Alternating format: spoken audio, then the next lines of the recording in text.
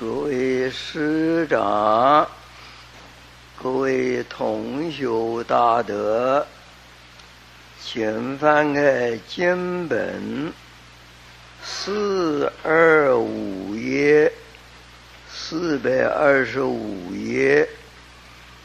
我们今天开始研读《观世音菩萨普门品》。这一品呢，是在《法华经》的流通分里面的一个重要的一品，所以我们开始的时候，上一回已经把这一篇的科判也给大家念了一遍。今天呢，还是请大家把那个奖表，啊，带来的话就拿出来，我们对照的看一下。没有带来的话，看后面有没有，有我就拿一份。如果后面没有的话，那么自己再跟这个。接着看一个，两人共共同看一张也可以。观世音普普门品这个科判里面就讲二番问答，二番问答就两次问答，两次问答了，第一次的问答。啊，里边有总答、别答、劝持名。第二次的问答有别答、有总答，也劝供养。那么课本里面总答的时候，就第一次问答啊，就是问的呀，大悲呀。大悲的这个这个八苦啊，那么观世音菩萨他是大慈大悲的，在第一次问答的时候啊，是以大悲心救苦为重点，那么就是就问在经文里边，是啊，对于世间的。一切众生的苦恼都能够得到解脱，就是第一次问答里面这个重要的意思。第二次问答的时候呢，是大慈为主，大慈是娱乐啊，与众生的一切乐。那么娱乐就是说。也大慈啊，给一切众生啊，呃，说法，那就经文里面所讲的，愿以和尚得度，即现和尚而为说法，这就是与一切众生的这个啊这个乐的，所以两番问答的重点。就把观世音菩萨大慈大悲呀，分前后两两次的问答，在经文里面呢是这样的，呃，把它重点说出来的。观世音菩萨，那么用大慈大悲，把一切众生的苦。与一切众生乐，这个不是普通菩萨能够办得到。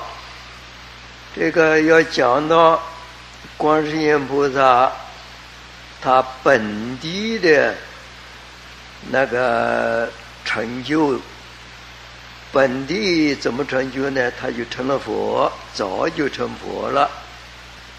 那么这里注是注解讲出来的，千手眼大悲经里面讲，观世音菩萨这个有这个不可思议的为神之力，有这种为神之力，那个给众生八苦娱乐啊，就是因为他在过去无量劫以前。已经成了佛了。成佛的名呢？那名号啊，叫做正法明如来。正是啊，很端正的正。法就是佛法的法。明是光明的明。正法明如来，他成了佛。以他的大悲的这个愿力啊，来同时要与众生的一起乐，就是啊，来现现身为菩萨，把已经成佛的这个佛的身份，把它隐隐藏起来。现出来的身份就是菩萨，就观世音菩萨，这是他这个以他的愿力来现菩萨身的。还有《楞严经》里面也讲，《楞严经》是观世音菩萨呃耳根圆通的，观世音菩萨在《楞严经》里面讲。他说：“他在往昔，在过去啊，无量无数的恒河沙劫的那个时候，有一尊佛出现在世间。那个世间什么都有呢？无量无数恒河沙劫数。”那么远的时间，在那个时候有一尊佛出世，叫做观世音。他在那尊佛面前发愿，发愿呢，要度化众生，发了大慈大悲的这个愿。那个观世音菩观世音佛那尊古佛，就跟。呃，这里讲那个观世音菩萨受记，给他受记呀，将来成佛啊，也叫观世音，名号也叫观世音。这是《楞严经》里面啊，呃，观世音菩萨自己说的。由这看起来，观世音菩萨早就成佛了。后来，他以菩萨身份到娑婆世界来呀，在这个西方极乐世界，帮助阿弥陀佛来教化众生，也帮助阿弥陀佛从十方世界来代替。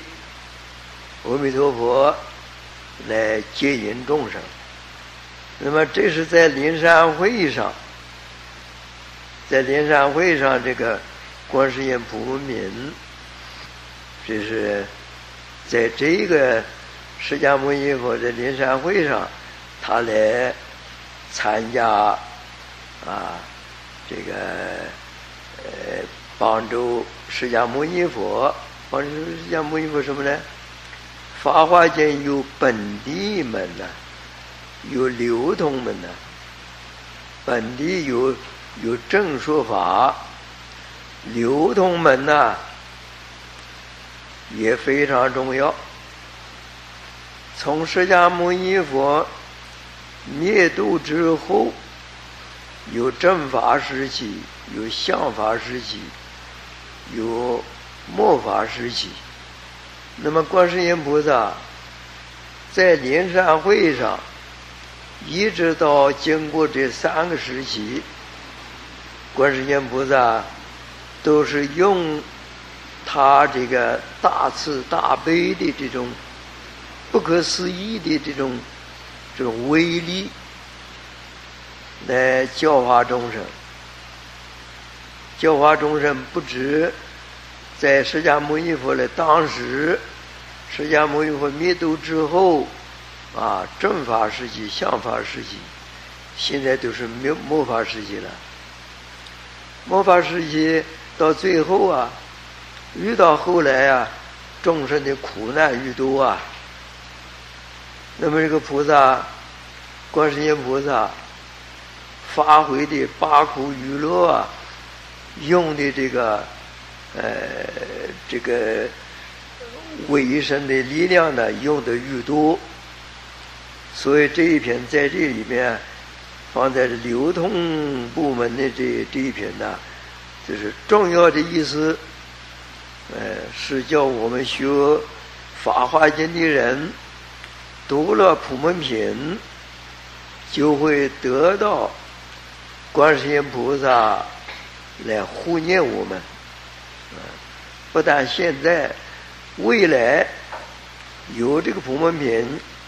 啊，凡是能够读到这个普门品的，就会啊得到观世音菩萨来护念他。有苦他能够把，有乐他能够给予，这是一个开始的一个重要的啊一个意义。现在我们就看观世音。普门这几个字，也就是这一篇的品题，观世音。我们这是简单的讲，如果要是详细的讲啊，每一个名词一开出来就十部门。十个部门呢，那不是这一两个小时能够讲得完的。所以我们现在里啊，采取简单的讲法，把其中呢，啊，最重要的，也就是我们能够听得，呃，能够听得清楚的。我们把这一部分，呃，呃，来讲讲一讲。先看“观世音”这三个字，“观”就是单讲啊，单讲是一个字一个字讲。智者大师讲有双讲有单讲，双讲就是这个把菩萨的。和这个呃，另外这个一个意思对照的来讲，我们这里是讲观世音单讲，就写“观”这个字。观是什么呢？是能观的智慧呀，叫做能观之知啊。那么就是。恐怕我们对于能观之知这个知还不了解，所以在大加以注解。就是他说，就是一心三智啊，在菩萨一心之中就有三种智慧。那么这个因呢，就是世因这两个字，世因呢是。所观之境是观世音所观的那个一切的境界。这个境界啊，就是讲，就是施法界的根基。在施法界的呀，学佛的人呢，那就是个根基呀，根基有上中下不不相等的了。那么施法界的根基。就是是研究指着观世音菩萨所观的这个十法界的根基。那么这就根基包含的太广了。先讲这个一心三智，一心三智啊，这是讲菩萨，而且观世音菩萨是成佛的菩萨，他有三智。我们都是凡夫众生，我们心中哪有智慧呀？别说三智，一智也没有啊。菩萨这三智是什么呢？空假中，就是一切智、道种智、一切种子、一切智啊。这个声闻缘觉，他能听得懂，所以他闻到观世音菩萨这个音声呐。二乘菩萨，啊，二乘这个呃，第佛弟子，啊，他知道万法皆空，就一切之，一切之的空，空这一门。菩萨呢，闻到佛这个大智慧啊，万法一切差别的。千差万别的这个这个相啊，菩萨了解，这叫道种子。菩萨这个道啊，种种的啊，不止不止一种啊。他对于这个观世音菩萨这个三种之中啊。他能了解道种子，一切种子呢，那是智慧更高的了。圆教菩萨，他这个讲到一切之道种子都能融合起来，啊，无融合起来无无的是一切种子，一切种子就是。中道，那是在天台宗里面讲是空假中啊，空假中啊，三种能观的智慧啊，空假中三种三种佛的这个菩萨智慧，对众生来讲，就是就是三智三观呢，观的三种境界，这是讲这个。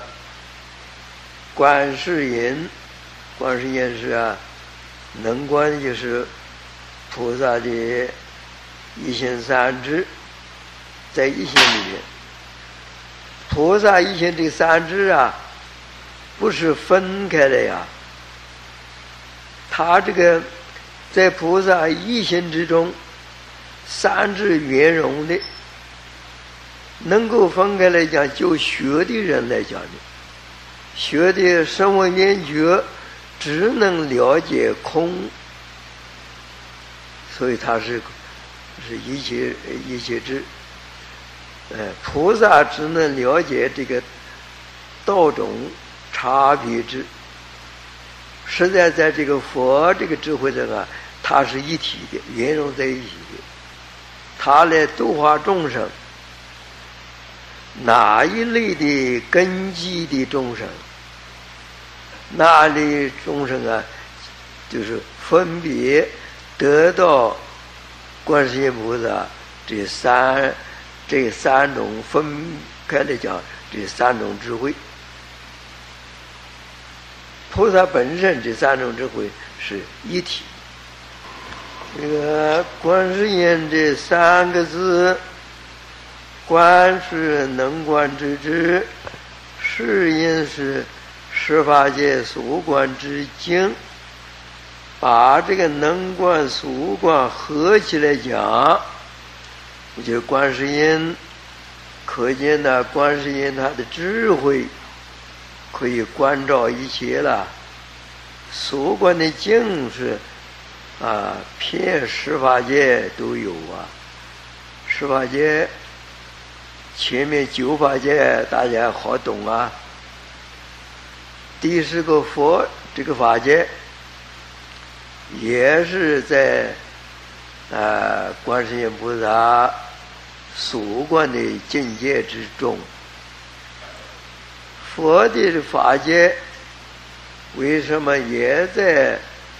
菩萨所观的这个境界之中呢，就这个原教菩萨来讲，到了初住的地位，他就能够啊证到一部分法身。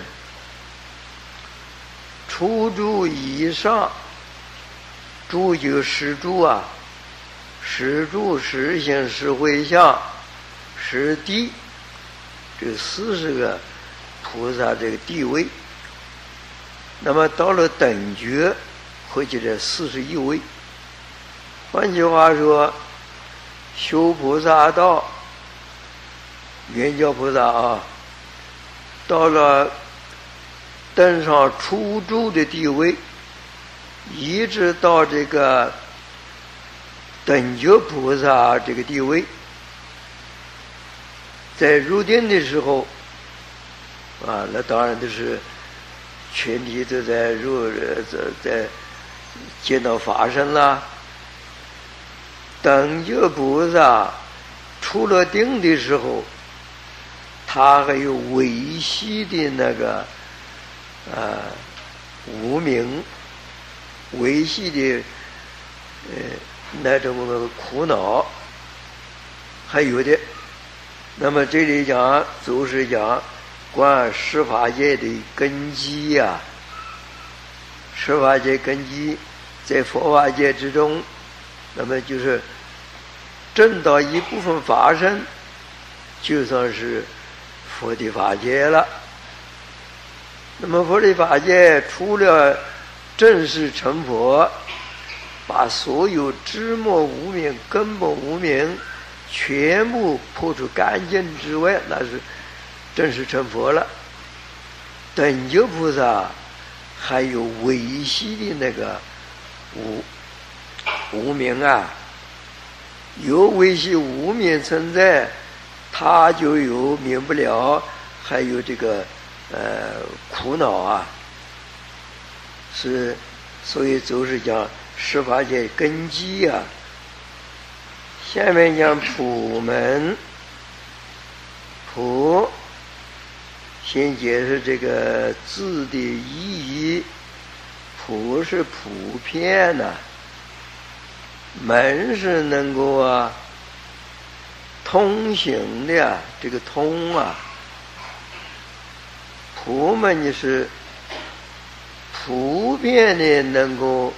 通达，就这两个字，“普门”这两个字，除了从文字的解释以外，详细的内容啊，天台宗的祖师啊，把它分开来讲，有十部门。这个石门呐，比如说讲内容了。就讲出那个名词啊，也就不很简单。开头讲慈悲呀，慈悲的普门呐，这个到最后讲到成就众生啊，这普门呐。中间呢，八个不必讲了，八，嗯。总结一句话，天台宗的祖师讲：这个石门呐，以一石相开出十个普门。这个门开始只有一个门，石相门。这个实相门就是真如本性。以实相门呢。开出十个普门，那么我们这里不要把，也不需要把这个十个普门都都来研研究。那么各位有兴趣的话，再另外找时间呢，把天台宗祖师注解的这个诗门呢，你都详细看，这是很好的。但是在这里，我们呢，这个不必花很多时间。扼要的，扼要什么？扼什么要呢？就扼这个一一个十相门，这个最重要。开出十种啊这个门来，那就是说，在普门品里面。这个经文随便在哪里讲，观世音菩萨物化众生，啊，来观察十八界众生的根基，都是从这个一识相门出来的。所以这个一识相门，我们只讲到一识相门呢。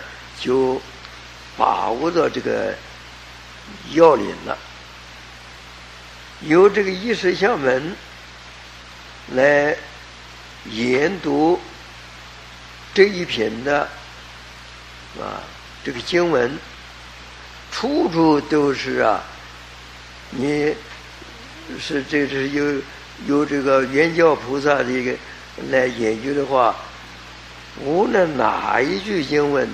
都是菩萨从这个意识相里面用出来。从意识相用出来的话，那我们呢知道菩萨到世间来拔苦娱乐、救苦救难，要讲感应呢，嗯，感是我们众生的根基呀，应是菩萨的，马上就。来答应了，那么我们众生的根基要感，要能感感的菩萨来应我们的话，那么就要了解菩萨用的都是都是这个实相。那我们要感菩萨来应的话，我们就用这个，不要其他的杂念。就用这个，呃，与实相相符合的这个心来，呃，研读这个啊这一篇。那么要要问呢，我们凡夫众生怎么能够与这个实相相合呢？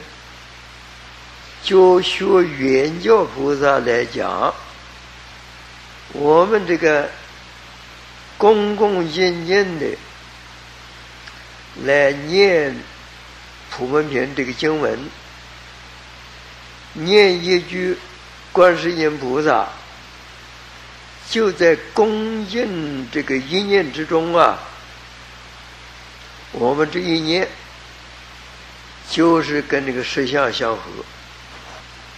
所以，这个叫不可思议，就在这里呀。我们现在看经文，而是无尽意菩萨，即从坐起，偏袒右肩，合掌向佛，而作誓言：世尊，观世音菩萨以何因缘名观世音？先看这个耳石啊，耳识是指的什么时候呢？天台宗的祖师说，前面是释迦牟尼佛向这个东方啊放光，呃，说东方菩萨。是前面讲过的，那么说到东方菩萨说完了，然后再说西方菩萨，就这个观世音菩萨啊，就是西方菩萨。就在这个时候，东方菩萨说那个事迹说说也说完了，开始就说西方菩萨这个时候叫二十。那么这个天台宗祖师啊，就在“二十”这这两个字上面呢，就叫四悉檀呐。东方菩萨说完，说西方菩萨就是世界悉檀。再说呢，东方菩萨生善，菩萨到世间来。度化众生啊，这是善行啊，也就叫众生呢能够启发善心。东方生善我了，再说西方的生善的时候，这是为人习谈。下面不必就不必说了，这个时候这时间又占的多多，就是儿时这个时候啊。就是四悉檀，四悉檀呢，包括佛所说的全部的法门，所以而是有这个含义。无尽意菩萨，无尽意是这一尊菩萨的别号。为什么叫无尽意呢？按照祖师注解啊。引用很多这个大经大论里面讲的意思也很多，简单扼要的说，无尽意啊是悲心无尽呐，因为这是第一次问答了，第一次问答就是八苦啊，大悲心的八苦啊。所以由这个无尽意菩萨来问，无尽意菩萨他是悲大悲心是没有没有尽的，而观世音菩萨在第一番问答的时候，他就用那大悲心把众生苦，所以无尽意来发问呢，他是跟。观世音菩萨这大悲心相合，就志同道合，所以他由他来问呢，也就是这一篇，他是当机中由无尽意菩萨来问的，是这个意思。无尽意菩萨来问的时候，也要有。这个礼呀，合乎这个礼，礼就是我们儒家讲的这个讲礼仪呀。这个礼仪，无尽菩萨就是就在这里表现了，即从坐起，从他的座位起来，问。问题，我们普通人呢，向人家请教，提出问题来。假如说这俩你问的人，你想问的那位啊善知识，你问的时候要起来，所以这是一个礼仪。偏袒右肩。偏袒右肩呐，就是为什么偏袒右肩呢？把这个右肩偏呢露出来啊，表示用右手啊来伺候长者。我们讲到这个儒家的学问呢，事事啊，在家里讲侍父母啊。是就做事情是啊，平常右肩，这是对佛来讲的，就准备来替佛来做事情了。合掌向佛，合起掌来，然后而作誓言，才提出问题呀。我建议即从做起，这就表示恭敬。恭敬非常重要。过去学路老人讲到这个地方的时候，他就引用印光祖师所讲的：学佛了，要是有人要问学佛有什么秘诀呢？祖师说了，学佛没有秘诀。如果你一定要问学佛有秘诀的话，那就恭敬，这个还加上一个诚心呐。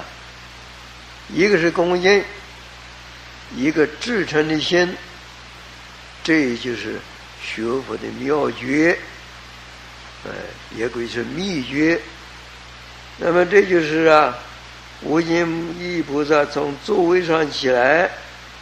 表示恭敬呐，其中若起，总总的意思是表示恭敬。下面分开来讲，你在哪些方面表表现恭敬呢？偏袒右肩，偏袒右肩，把这右这个。露出来呀！那那是啊，准备提佛来做事情呢，就是深恭敬。不但佛法如此，我们儒家的学问也是如此。儒家学问讲这个礼啊，右边。右手这个衣服，这个袖子要短一点。为什么要短一点呢？准备为长者做事情。这就身身体的身的恭敬，合掌向佛。合掌就是两手合起来啊。这表示什么呢？合掌向佛啊，表示一心。表示一心呢，就是心恭敬，而作誓言世尊，就是也说话，先称呼佛，称呼世尊，这是什么呢？口啊，称呼世尊就是用口里说出来啊，口无恭敬。就三业恭敬，三业恭敬就是分开就即从做起，那是总说一句恭敬，分开的身口以三业都要这个一心恭敬呐。所以印光祖师讲，佛法要向恭敬中求啊。那我们在道场里面有。有佛像，有菩萨像，我们当然要恭敬。自己家里供的有佛像，有菩萨像，也要这样恭敬。那么这个，这是讲这个，呃，开头这个三种恭敬的礼仪。下面就问了。无尽意菩萨就问了：“观世音菩萨以何因缘名观世音？”这是呃无尽意菩萨呃请问啊向释迦牟尼佛请问，无尽意菩萨他知道观世音菩萨他早就成佛了。既然早就成佛了，为什么用观世音用菩萨的这个这个身份，用菩萨这个名来到世间，而不叫做佛，这叫做叫做观世音，观世音菩萨。成佛造什么？他的名叫做正法明如来嘛。而现在讲是观世音呢。无尽意菩萨问的是这个意思啊。成佛就唯识宗来讲，转世成智，最大的就是这个。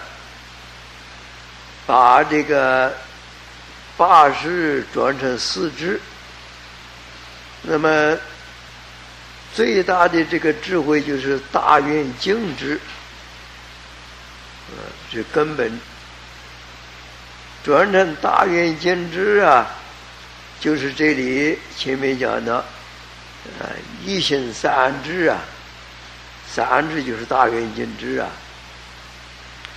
观世音菩萨。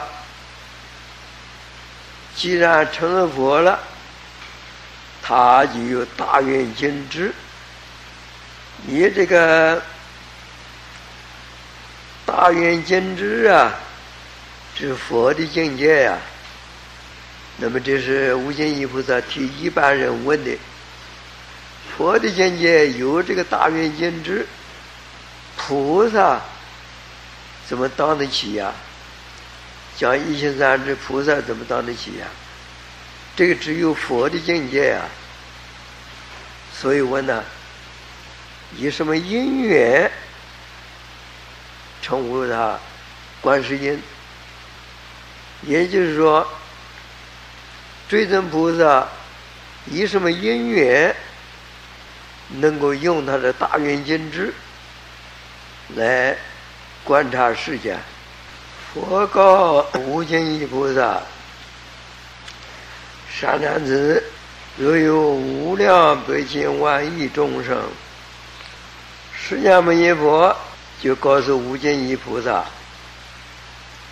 善男子，知佛称呼无尽意菩萨，若有无量百千万亿众生，受诸苦恼。’”闻是观世音菩萨一心成名，观世音菩萨即是观其隐生，皆得解脱。无量百千万亿众生啊，这是十法界的学佛人的根基。这么多的众生。讲十法界，那么一般人不大容易了解，就是普遍的呀。普遍的一真法界，一真法界是骗一切处。嗯，再好讲讲好懂一点，尽虚空骗法界呀。这些众生啊，都是。观世音菩萨要度化的众生，受诸苦恼。这个文是观世音菩萨受诸苦恼啊，就是尽虚空遍法界那些众生啊，他们受这些苦恼，一闻到。这一尊观世音菩萨，闻到观世音菩萨不容易的。一般人的观世音菩萨这个名字啊，都闻不到啊。能够闻到这尊菩萨名字，是一个大的福报啊。为什么呢？闻到菩萨的名字。心中有任何苦恼，受诸苦恼，众生在世间呢，无论哪一类的众生，六道凡夫众生不必说，那是苦恼无边的呀。四圣界的众生也有苦恼啊，一层一层的呀，都有苦恼啊。这些众生呢，受了种种的苦恼，闻到观世音菩萨这个名号，闻到这个名号呢，一心称名。一心称名就是称谓啊，称呼啊，称呼观世音菩萨这个名号啊。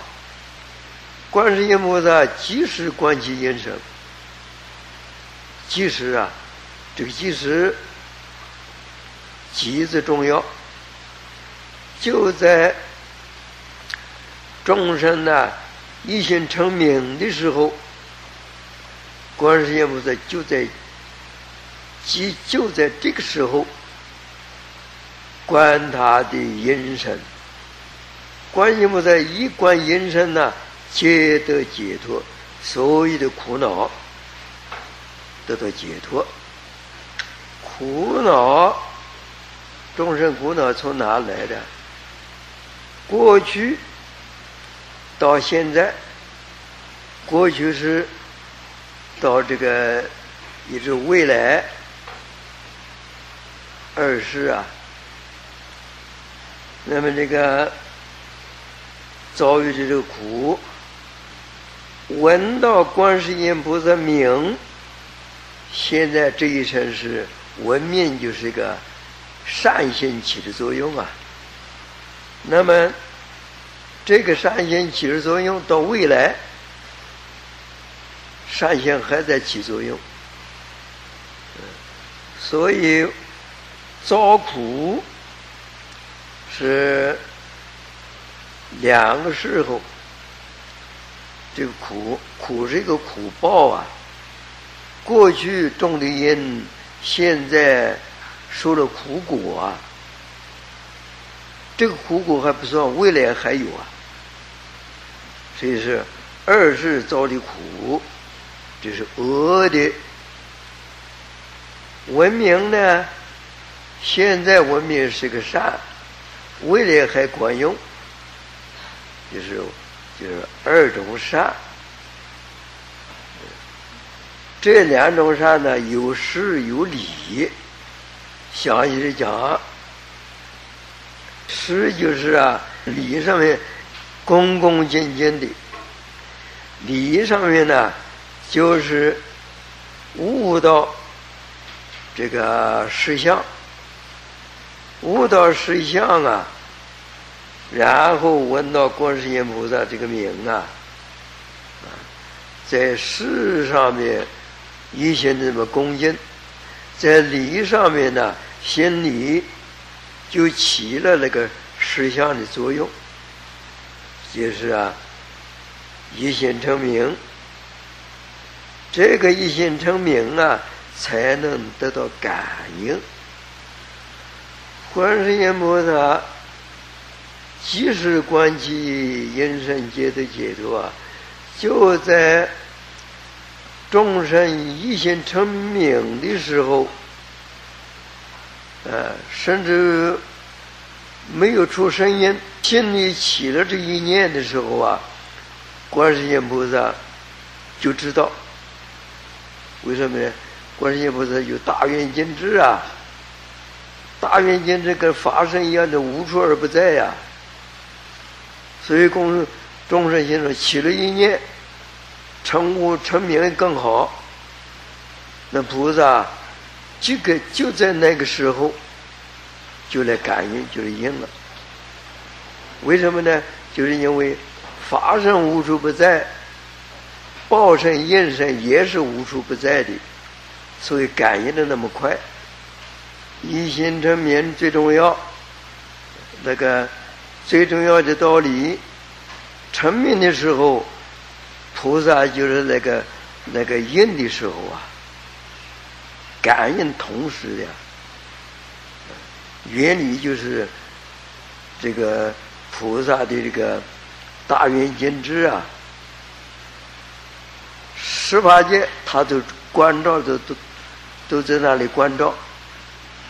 心中任何一念起来的时候，就在一念起的时候，他就就照到了，在照的时候，苦恼就解脱，就懂得理。